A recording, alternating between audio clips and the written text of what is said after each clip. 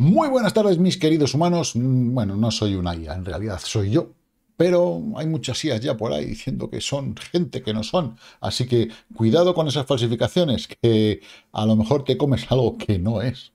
Bien, dicho esto, como decía aquel sabio, las batallas en la vida sirven para enseñarnos algo, siempre, incluso aquellas que perdemos.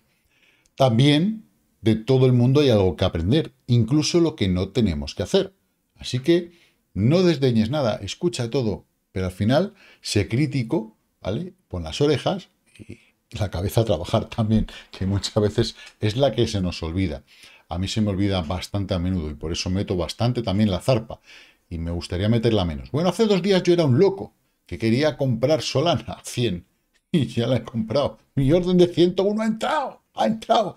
Ahora las otras dos no sé si van a entrar, pero bueno, de momento contento estoy y estoy contento. Entonces tengo varias buenas noticias. Tengo unas muy buenas noticias, unas noticias que son excelentes y otra noticia mala. Entonces, creo que vamos a empezar por las buenas. Así que comenzamos.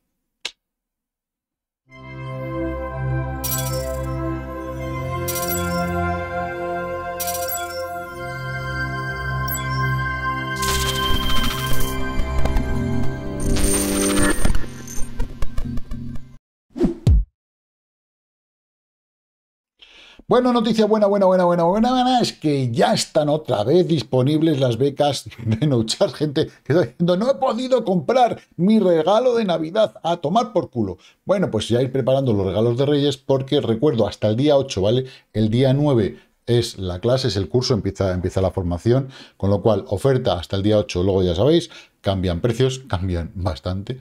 Eh, entonces, bueno, ahí lo tenéis. No es algo mío, es algo que os recomiendo porque es la polla de Bezoya. Ya está. Creo que con la definición es más que suficiente. Mm, noticia positiva. Noticia negativa. Muy negativa. Ya no está disponible el curso de CryptoSars. Lo siento. Me habéis agotado la paciencia. No es que sí, ya no, ya no, se acabó.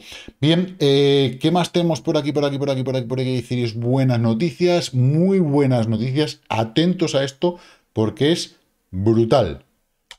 Cake, tokenomics de PancakeSwap, proponen reducir el suministro máximo de Cake en un 40%. Esto sería la leche. Esto va a generar un FOMO y ya lo estará generando. Ahora vamos a ver cómo está Cake. Tremendo. Si realmente esto se realiza, que yo creo, yo creo que sí se realizará, ¿vale? Porque, porque el 95% o más del 95% de la comunidad ha votado a favor de la propuesta, Cake va a volar. Cake va a volar. Entonces, eh, va a volar, mm, se va a duplicar, eh, no sé. Lo que tenía que hacer, acaban de a mí me acaban de romper un poquito la planificación y las estadísticas respecto a Cake, así que mm, no sé cuál va a ser el efecto, a lo mejor de primeras cae eh, esto. Pero quién sabe ande. Esto es como, el, como la lotería no sea que le toque a ese, o el de compañero de trabajo, o al vecino, o al del supermercado y a mí no. Pues no sé, ahí está, un poquitito, no sé, 50 pavetes, 100 pavetes, nunca se sabe, qué sé, cada uno lo que quiera. En fin, predicciones de juegos de criptomonedas 2024. ¿Será el año del despegue? Yo creo que sí, no solamente del año del despegue en criptomonedas, sino el pago por jugar. ¿Vale? El pago por jugar, eh, ostras, eh, creo que es el año, va a ser el año. Hay que estar muy atentos en qué juegos nos van a pagar por jugar. Yo ya mm, voy a pedirle a los Reyes Magos si mm, lo tienen a bien eh, y creen que me he portado bien un, mando premium de estos de Xbox para enchufarlo al PC y, y ganar dinerito jugando. Así que bueno, ahí, ahí está. De momento, la cantidad de juegos blockchain que va habiendo son tremendos. Los juegos han recibido 1.400 millones de dólares en inversiones entre mayo y noviembre del 23 y la industria general de juegos todavía, mm, bueno, está ahí un poquito sin terminar de abrazarlo. Y esa es la cantidad que han recibido. Imaginaros en el momento que la cosa se empiece a ver. Y yo creo que el año 24 va a ser un año, mm, un antes y un después. Ya hemos vivido momentos en los que bueno, recordar el verano del 21, que nos pagaron las vacaciones, ¿no? Pues, pues eso. Ya veremos a ver qué da, pero yo creo que a mí los NFTs no me gustan, el tema de coleccionables y tal. Bueno, pues hay algún juego que está muy bien, pero tampoco más allá de eso. Yo hablo más de juegos cañeros, un mata-mata, como yo digo, de los de toda la vida, que te vaya dando tokens X, los que sean, no importa, pero que te vayan dando tokens y ese pago por juego mm, va a ser mm, yo creo que va a ser un año muy bueno a ese, respecto. Así que estaremos muy atentos. Y si alguno tiene noticias al respecto, oye, sería eh, de agradecer, ¿vale? Que todos estos juegos on-chain, pues bueno, pues nos, ayuden y, y entre todos podamos aportar ese valor extra a la comunidad, más extra todavía. Bueno, hablan también de que el salto de 9% de Ethereum, que es el comienzo de algo grande. Sí que es cierto que ese cambio de precio, habéis visto como estos días Ethereum ha se ha movido, se ha movido bastante, ha estado muy, muy bien. Eh, y suele ser el inicio, suele ser el inicio de un arranque. No sé cómo está Ethereum Classic, también suele ir también por ahí haciendo de las suyas y con el apoyo que tiene ahora mismo de los mineros, no lo sé, porque tampoco sé cómo están los mineros de pasta en Ethereum Classic, si están pobres, si no están pobres. Eh, entonces, bueno. Y mm, otra cosa importante que la India ha tomado medidas para bloquear sitios eh, como Binance y otros exchanges. O sea, esto no es la primera vez que lo hacen, ¿eh? No es la primera vez que lo hacen. Cuando no es India, es China, es tal, y al mercado se la pela, se la trae al pairo. Ahora, ¿dónde está, por ejemplo, Coinbase? Ahora entendemos, ¿no? Ya un poco más la política qué está pasando en Estados Unidos, qué está pasando con sus aliados, a pesar de que, que se están, que si con Rusia, que si el BRICS, que si tal, para unas cosas van para un lado y para otras cosas van para el sol que más calientan. Y es así, más la India que está ahora ahí en medio de un berenjenal un poquito complicado. ¿Dónde está Coinbase? ¿Lo sabéis, no? Pues entonces, Creo que las acciones de Coin es otro dato muy importante y creo que, bueno, pues a lo mejor eh, utilizar Coinbase como resguardo para algunas criptomonedas que tengamos a más largo plazo si no utilizamos un ledger, pues tampoco va a ser mala idea. Eh, dicho esto, vamos al mercado. ¿Qué pasa con el SP500 intentando tocar el máximo histórico y no llega, no llega, no llega, no llega? Ya le falta poquito, ya está ahí renqueante, ya le queda muy poquito. ¿Y Bitcoin? Bueno, Bitcoin después del retroceso, tocamos línea de tendencia, hacemos pullback, nos venimos abajo, hemos hecho un mínimo inferior al anterior. Niet, no. En cuatro horas, ni evidentemente en una hora. ¿Vamos a ir a buscar otro máximo? No tengo ni idea, pero esto sería una W muy guapa. Muy bonita. Vamos a ver qué quiere. ¿Que yo prefiero que se vaya abajo? Pues sí, ¿para qué nos vamos a engañar? No estamos ahora ya a estas edades, ¿no? Para engañarnos. O sea, que, es más guay. Pero, de momento, volvemos a ver qué ha pasado con el RSI. Ya dijimos que había rebotado, se fue arriba, ha perdido nuevamente la línea de tendencia y se nos ha venido abajo. ¿Ha hecho un nuevo mínimo? No, tampoco. ¿Para que haga un mínimo en precio, le va a hacer falta hacer un mínimo en RSI? No. Tampoco. Si hace un, nuevo mínimo en RSI, vamos a caer un poco más de una forma interesante. 41 y medio, 41, sí. Entonces, ¿qué tenemos que vigilar, señores? Justo eso, el RSI, ¿vale? Vigilarle, porque es el que os va a dar pistas. Normalmente se anticipa los movimientos. En el momento que aquí dijo no puedo ir arriba y empieza a perderlo, la siguiente vela ha hecho plaf, se nos ha ido y se nos ha adelantado al, al, movimiento. Así que bueno, bien, la verdad es que eso está bastante, bastante bien. Eh, de momento, para mí, para mí, seguimos en este canal horizontal. Después de ir a la parte superior, lo lógico es ir a la parte inferior. Y después de ir a la parte inferior, con el FOMO ya cada día más cerca del 10 de enero, bueno, pues ahí estamos. Estamos en cuatro horas, os recuerdo, porque si lo ponemos en diario ya vemos que estamos pegadito pegaditos. Estamos a día 28, día de los santos inocentes, y aquí no hay broma que valga. Ha habido unos graciosillos, son muy simpáticos, ¿no? Y se les ha ocurrido hacer de publicidad, eh, la cuota de autónomos sube a 400 no sé cuántos euros de mínima. ¿Sabéis lo que han recibido, aparte de hostias? Pues lo que han recibido ha sido un montón de clientes que se han dado de baja de su servicio y que se van a seguir dando de baja. Es decir, están, están flipando por listos, por listos, porque no todo vale para tener una visualización de más. Eh, puedes poner un título más llamativo porque te interese, pues yo por ejemplo alguna vez lo hago, para que la comunidad eh, pues estéis atentos porque cuando yo pongo un título llamativo es porque es importante lo que os quiero decir. Y como sois unos capullos y si no se os pone un título eh, llamativo no le dais a, para ver el vídeo, sobre todo hay, o sea, es increíble porque he hecho la prueba. Los vídeos de No Charts con ciertos títulos, ¿vale? tienen una cantidad de visualizaciones tremendas. Pero cuando son con títulos normales, os puedo decir que no es normal que en un canal con, no sé, 20.000 seguidores tengan 100, ciento y pico visualizaciones. O sea, no es normal. O sea, entonces la culpa es vuestra. Estáis como una puta cabra. Si os pongo algo bueno, coño, pues miradlo. Porque es algo que os va a dar dinero. Pero bueno, al final eh, cada uno ve lo que quiere. Pero que sepáis que sí, que, que yo de vez en cuando os voy a poner un título así, porque hay que hacerlo, pero esta gente, pues se han pasado tres pueblos en el Día de los Santos Inocentes y luego pone, no, era una broma. Le das al clic, entras en su web y pone, era una broma. Pero vosotros lo que sois es gilipollas, tal y como están las cosas, tal y como están los ánimos eh, con el tema de los impuestos de los, de los autónomos, vais y gastáis esa broma. Pues han perdido unos cuantos clientes. Bien, eh, de momento, Bitcoin tenemos resistencia, la tenemos clara, ¿no? La tenemos marcada en verde, 43.500 aproximadamente. Soporte, eh, al cierre, ¿vale? 41.275 en mechas, pues bueno, lo tenemos un poquito más abajo. 40.500 eh, me molaría un rebote, bajar y rebotar otra vez arriba. Eso me molaría, para aprovechar bien el canal completo, más que nada. Em, bien, ¿qué pasa con el total market? Pues que está por encima del 1.6, o sea que en ese aspecto perfecto, y la dominancia de Bitcoin que sigue down, down, down, cayendo, cayendo, cayendo, Debería parar casi, casi, casi un poquito más abajo. Ya le queda poco para el 50-72. Bueno, ahí, ahí está. Fijaros que estamos después de haber tocado una zona. ¿Veis? Toda esta zona, que es donde hemos intentado entrar. No hemos podido, nos hemos ido para abajo.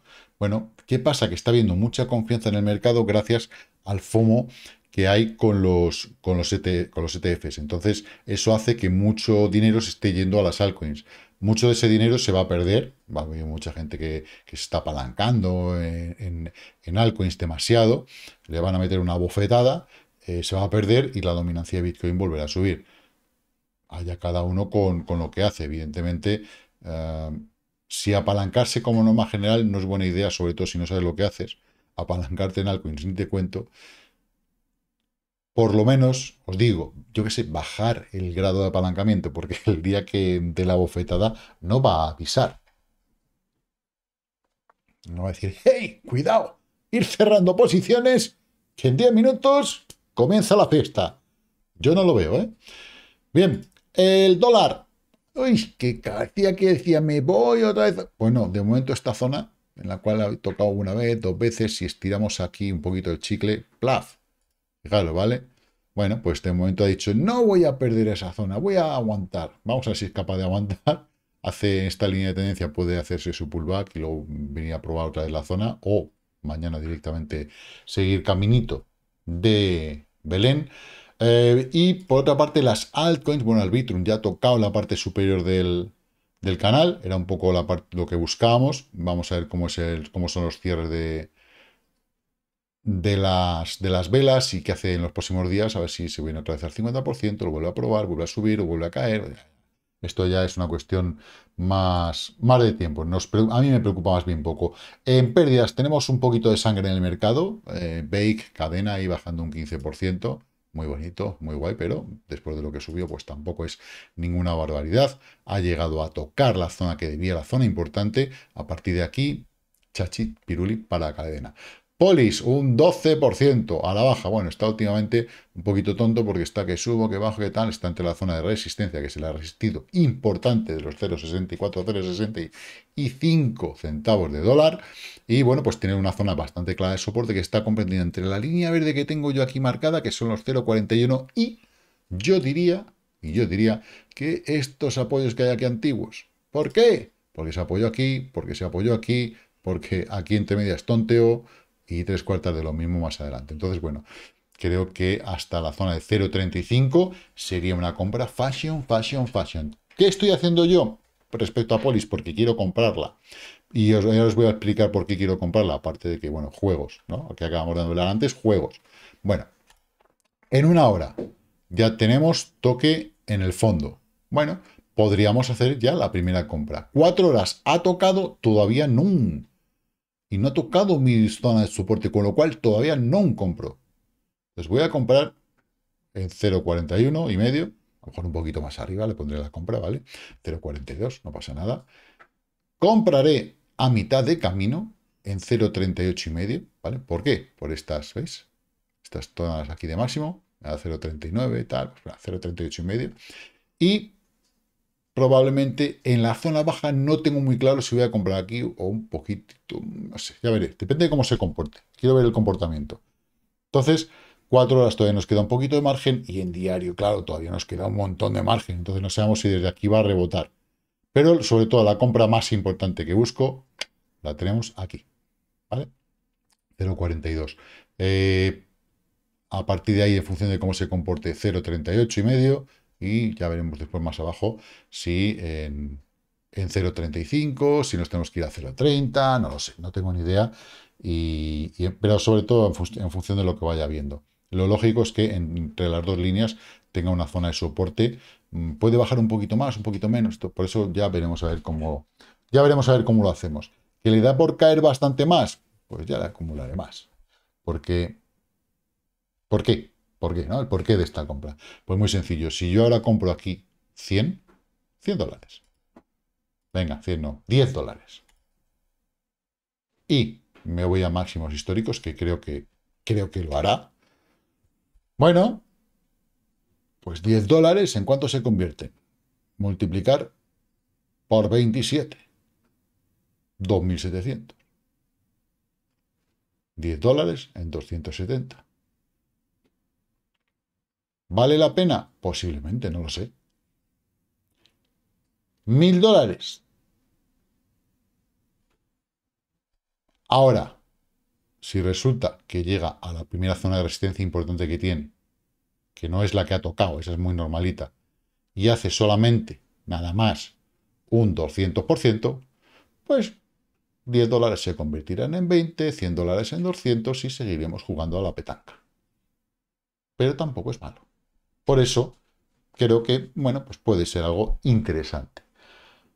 Evidentemente, si me pongo aquí, pues tampoco está mal. En fin, es por eso, nada más, ¿vale? Si son suficientes justificaciones para esa inversión para ti, pues tú mismo. Eh, INJ, Melos, Melos está cayendo muy, muy bien. Ya teníamos eh, compra una hecha, compra dos hecha, estamos en la zona de compra dos. Vamos a ver si conseguimos la 3. Esa es la que buscamos, esa es la importante, porque es 100, 200, 300, 10, 20, 30, ¿vale? Hago una compra, aquí la duplico, con lo cual mi, mi posición no está a mitad de camino, está aquí, un poquito más abajo. Ahora, la compra que ya está aquí, en la zona más o menos de 25,6, pues si yo compro aquí el doble, pues ya sí baja la mitad de camino, ¿vale? Entonces, es una... Pues yo es lo que lo hago, yo así lo hago, yo os lo enseño, lo digo, y cada uno que haga lo que le dé la gana, por supuesto. Eh, injected, Injected, eh, estoy aquí haciendo mis calculillos, ya lo veré, para hacer comprita exactamente igual que en Solana. ¿vale? Em, hay que estar ahí. Entonces, de momento, ¿dónde está su máximo histórico? Donde tengo esta línea de puntos. ¿Qué es esa línea de puntos? Una alerta. Una alerta para que si la toca o la pasa, me diga TradingView, ¡Hey! ¿Qué no, tío? Aquí tienes algo. Bueno, me, dice Kryptonius TV, el antiguo. pero bueno, ya, ya se, lo, se, lo, cambiaré. Em, pero es que me gusta, hay que también mantener las cosas anteriores. Eh, bueno, fijaros cómo hizo, ¿eh? Qué bien. Buena entrada, consolidación, pim, pam, pim.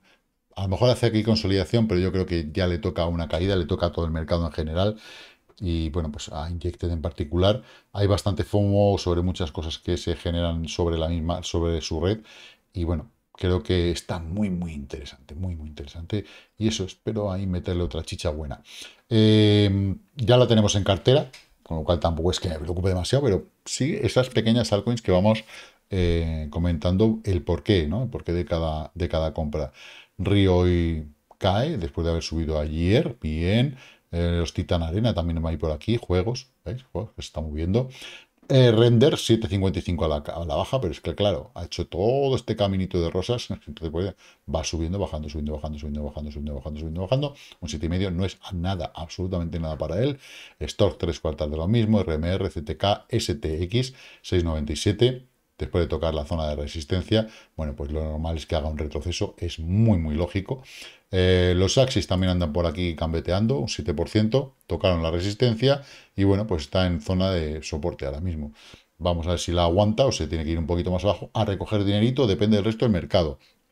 Eh, o Gala Games, hace, hacía tiempo que no había Gala Games, sigue con su trabajo de hormiguita, zona de resistencia importante, cuando llegue a ella, bueno, pues habrá cumplido un objetivo muy importante y a partir de ahí, pues será interesante valga esas rimas que estamos haciendo. Y todavía sigue 7%, 6%, sigue bastante RPP, KuCoin Shares, Matrix, SEC, Fear FED, o sea, están todas sangrándose un poquitito. AVAX también, la que la tenemos en cartera, sangrando un 580. La Solana, la Solana, señoras y señores, en el culo tengo flores. Bueno, pues que era importante para mí comprar en esa zona. La siguiente zona, ya dije que eh, creo que hay tres zonas importantes en Solana. Una era esa, otra es la de 90 y la otra en la zona de 80. Creo que son zonas muy buenas para comprar. Eh, ¿Por qué? Porque, bueno, si tú haces una compra media, después de 100, 90, 80, pues más o menos, aunque hagas 100, 100 y 100 y tu media sean 90, pues solamente la vuelta al máximo que acaba de hacer es un 37%, es un trade de la leche. De la leche y que podrá ser seguramente en muy poquito tiempo. Que llega a la zona de 80? Pues evidentemente no voy a dejar lo que está, voy a meterle más chicha y más limonada. Que luego resulta que cae más porque el mercado se va a la mierda. No pasa nada, es una cuestión de tiempo. El rebote, solamente tiempo.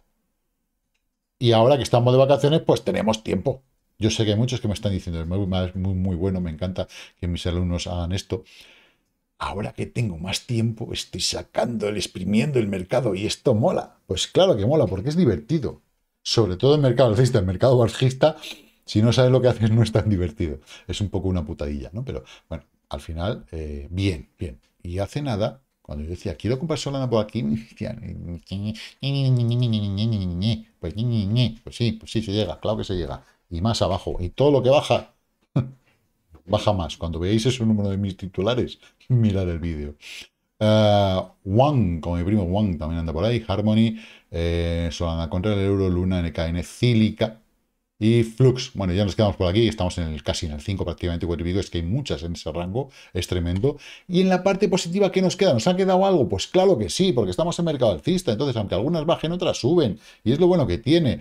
VR, 35% ya está subiendo un 80 prácticamente. Noya, TRB, 15.95. Esto está que se sale. O sea, esto es la locura de que los que han roto los máximos histéricos y, siguen para arriba. Naka, Nakamoto Games, la tenemos en cartera, 13% arriba. ¿Vale? Equilibrando nuestra cartera, que eso es lo que buscamos, un equilibrio de cartera, una cartera que vaya subiendo con cierta solidez, mientras unas bajan, otras suben. Entonces, al final, ¿qué hacemos? Ah, cartera, equilibrio, seguimos en beneficios, seguimos en beneficios, a pesar de que hay muchas que están cayendo mogollón. Velas, Celer, Uniswap está reclamando su lugar en el mercado, ya lo llevo diciendo bastante tiempo a lo largo del mercado bajista.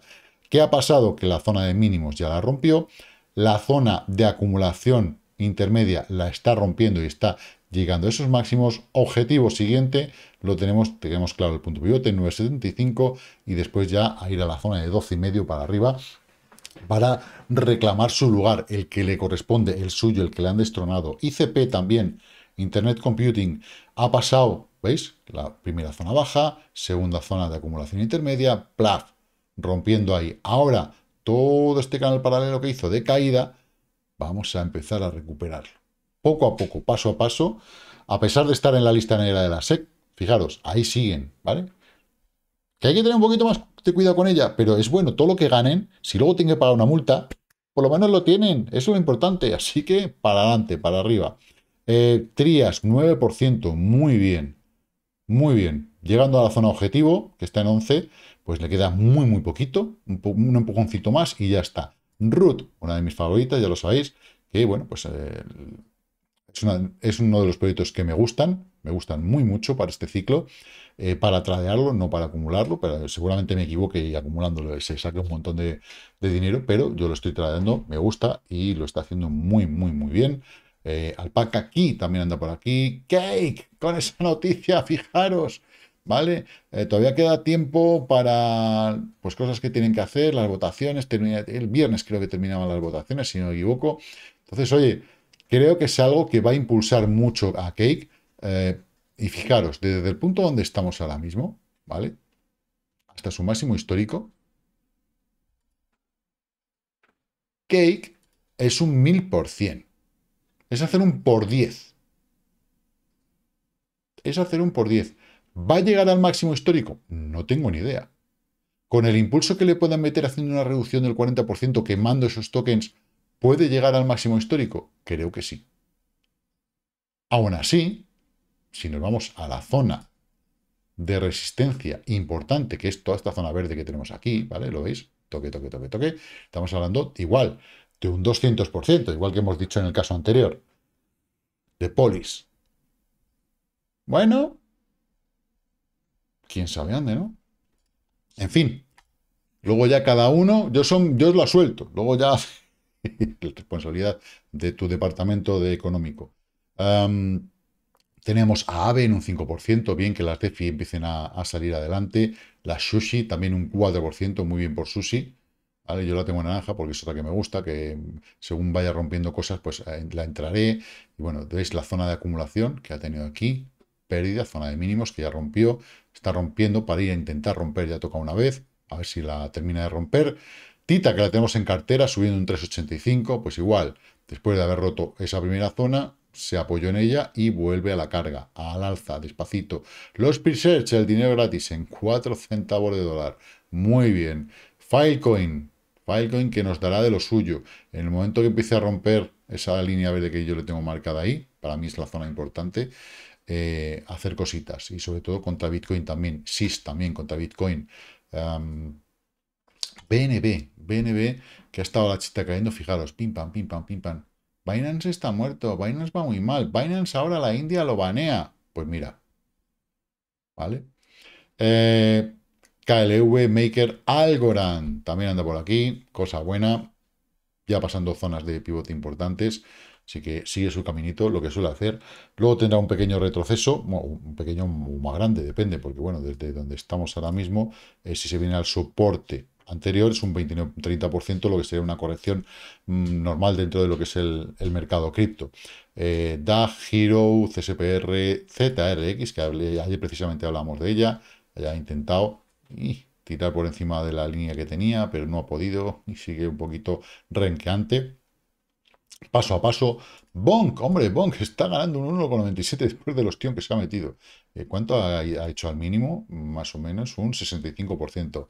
Ya, eh, haberte metido aquí en este berenjenal, joder lo que sube y dices, ostras, ¿cómo es posible que este trozo tan pequeñito sea un 65%? Entonces, ¿todo esto es un 35%? Sí, claro, porque es que lo estamos viendo en logarítmico. Si queréis ver realmente eh, cómo es el movimiento, dar, poner normal la gráfica, y veréis que, ostras, pues sí, claro, claro que corresponde desde aquí arriba hasta aquí al 65%.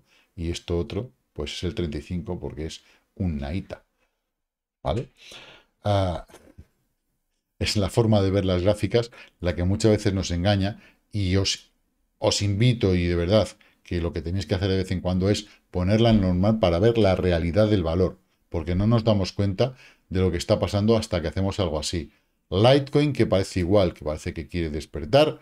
Ya hecho, hizo un mínimo, máximo, un mínimo ascendente, otro máximo ascendente, otro mínimo ascendente. Debería ir a buscar otro máximo por encima del anterior, generando ese canal, aunque sea lento, va rascando, rascando, rascando. Bien, los Ordi también andan por aquí, ORN, Arbitrum, que también está en cartera igual que Litecoin pues ahí ya toca la parte superior del canal. Vamos a ver qué quiere hacer ahora. Y bueno, poca cosa más. Los moneros, los moneros me gustan más contra, contra Bitcoin, ya lo sabéis. Además, nos sirve como de lo que nos sirve. Fijaros que esa zona en la que ha sido una resistencia, bueno, pues ahí está intentando atacarlo otra vez desde un prisma más, más tranquilo, es decir, ha ido más poco a poco haciendo ese caminito Aquí intento subir muy rápido, se ve ostión. Intento subir muy rápido, se pega ostión. Va más despacito y lo consigue. ¿Vale? Poquito a poquito. Vamos haciendo bien Bitcoin, caso un 1%, que también está en cartera. Bueno, pues haciendo lo que tiene que hacer, romper esa zona de resistencia para intentar acumular por encima. Es un poquito el objetivo que hay ahora mismo eh, para intentar mantener una zona que luego puede meter un pepinazo a 375, sí, pero yo creo que todavía de momento no es el momento. Quizás sea el objetivo 375 en el caso de aprobación de los ETF cuando el mercado va boom, de repente, ¿vale? Pues si te quieres subir algún caballito, pues a lo mejor Bitcoin Cash no es mal caballito para subirse, hacer ese trade, cerrarlo y luego esperar a ver qué pasa. ¿Vale?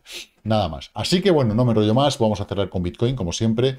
Eh, Bitcoin en una hora, que tiene, pues bueno, una hora que intenta recuperar las anteriores, abrazarlas para la parte superior de STP2, que en ocasiones nos ha servido de apoyo, resistencia. Bueno, pues si la rompe, bien, si no la rompe, vamos a ver si conseguimos ir abajo o si se cumple la teoría que dice un un pequeño viejo lobo de mar de que esto es un hombro, esto es una cabeza, esto es otro hombro y a partir de aquí hará una subida con un pullback y nos iremos a la zona de aproximadamente 45.400. Si os gusta, me lo comentáis y si nos gusta, también copón. Venga, chicos, chicas, lo que digo siempre, invertir con mucha cautela, guardar liquidez y que la paciencia os acompañe. Tchau, tchau.